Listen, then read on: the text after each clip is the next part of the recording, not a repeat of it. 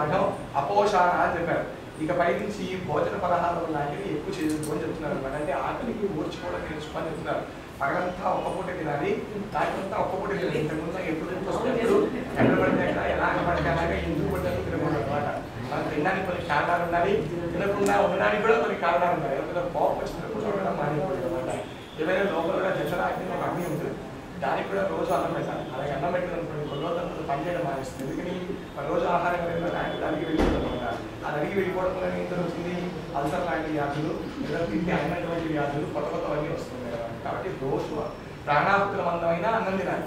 అది దానికి ఉన్నటువంటి నియమం. అలాగే ఎప్పుడు కూడా తినేయకూడదు. లోపల ఉంది కదా మొన్న మనం తినేస్తే అయిపోతుంది కదా అంటే ఇది తగ్గిన ఎంత పదార్థం ఉండవచ్చునో అంతే తినాలి. ఎక్కువ తినకూడదు అనమాట అది కూడా గుర్తుపెట్టుకోవాలి. పగలే తినాలి. అలాగే రాత్రి పూట తినాలి. పొద్దున ఒకసారి భోజనం చేస్తారు కదా మళ్ళీ ఎప్పుడు తినాలి? రాత్రి పూట తినాలి అనమాట అలాగే భోజనం చేసేటప్పుడు ఎక్కడ పడితే ఎక్కడ ఎలాగ పడితే అలా తినకూడదు. దానికి కూడా ఇంతకు ముందు మనం చూసినట్లుగా టైం దానికి కొద్దిగా చదువుకుని వడ్డించేవాడు ఎలా వడ్డించారు? నువ్వు ఎలా తింటావు ఇవన్నీ కదా. వడ్డించేవాడు ఎలా ఉన్నా సరే కూర్చునేటువంటి నీకు కొన్ని రూల్స్ ఉంటాయి కదా. అర్థమవుతుందా? దాన్ని తప్పకుండా అనుసరించాలి అపోషాలు కూడా పైన కర్మకుడు అంటే నీకు మిగతామైనటువంటి కొన్ని కర్మలు ఉన్నాయి. నీకు నువ్వు పెట్టుకున్నవి లేదా నీ చుట్టుపక్కల వాళ్ళు పెడుతున్నవి ఇవన్నీ నీకు ఎప్పటి నుంచి వస్తున్నాయి ఇప్పుడు ఇప్పుడు నుంచి వస్తున్నాయి? కాలేజ్కి వెళ్తే ఉండే రూల్స్ అలాగే ఇంట్లో నాన్నగారు ఏదో చెంబు తాగితే నీళ్ళు తాగి బోధించాలి ఇటువంటివి ఇట్లా ఏవో కొన్ని ఉంటాయి కదా ఇంట్లో సహజంగా.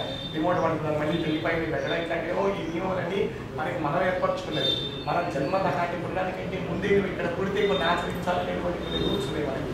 వాటిలో ఏంటి? నేను అయిపోగానే ఇప్పుడు ఏదైతే ఏది లేదు పొద్దున్నే ఆరు అవుతుంది అంటే సంధ్యావందనం చేయాలి మళ్ళీ మధ్యాహ్నం పన్నెండు గంటలకు సంధ్యావందనం చేయాలి